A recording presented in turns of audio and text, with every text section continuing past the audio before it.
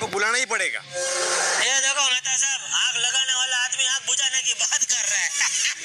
इधर क्या आग लगी है क्या फायर ब्रिगेड वाला को बुलाना ही पड़ेगा। जेठालाल ऐसी आपातकालीन स्थिति में अग्निशमक दल ही लोगों की मदद करता है। आज बाद में बेटा बाद में उठाना, चल। तारक मेहता अरे सारा गोकुलधाम खड़ा है देखो मैं